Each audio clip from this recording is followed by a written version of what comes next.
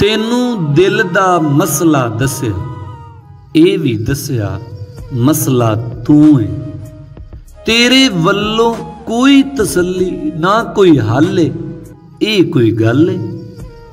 ਲੋਕਾਂ ਨਾਲ ਤੂੰ ਖੇੜ ਖੇੜ ਹੱਸੇ, ਖੁਸ਼ੀ ਮਨਾਵੇਂ, ਰੁੱਸੇ, ਵਸੇ। ਸਾਡੇ ਲਈ ਬਸ ਅੱਜ ਤੇ ਕੱਲ ਏ, ਇਹ ਕੋਈ ਗੱਲ ਏ।